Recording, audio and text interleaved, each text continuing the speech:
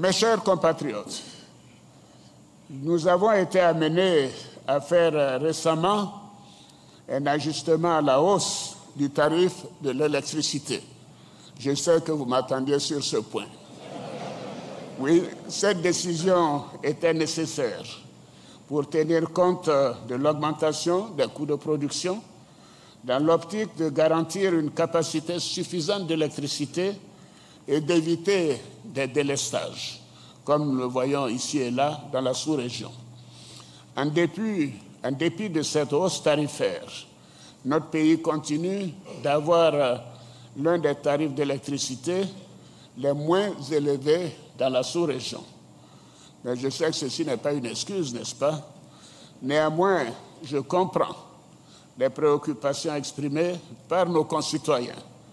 Je tiens à vous rassurer que votre bien-être reste la préoccupation essentielle de mon action. Et c'est pourquoi j'ai demandé au gouvernement de poursuivre ses efforts pour contrôler le coût de l'électricité. La stratégie du mix énergétique avec le recours aux énergies renouvelables, comme les centrales solaires et les barrages hydroélectriques en cours de construction, permettra de mieux maîtriser à terme le prix du kilowattheure. La Côte d'Ivoire dispose également d'un sous-sol riche où dominent l'or et le manganèse avec un potentiel important d'exploitation future de minéraux stratégiques comme le nickel, le coltan et le lithium.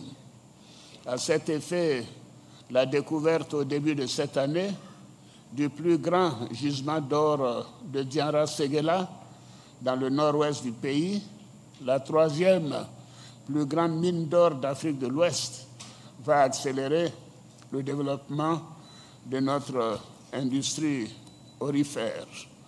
Ce développement industriel s'accompagnera de la création de milliers d'emplois pour nos jeunes et il permettra de générer des ressources financières pour accélérer notre programme de développement économique et social.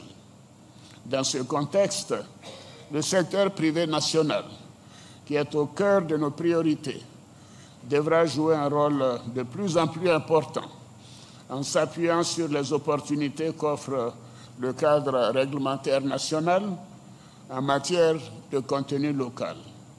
Je voudrais réaffirmer mon engagement à faire émerger des champions nationaux dans tous les secteurs économiques de notre pays. Oui. Et je demande, aux organisations du secteur privé de nous faire des propositions dans ce sens. Donc la balle est dans votre camp.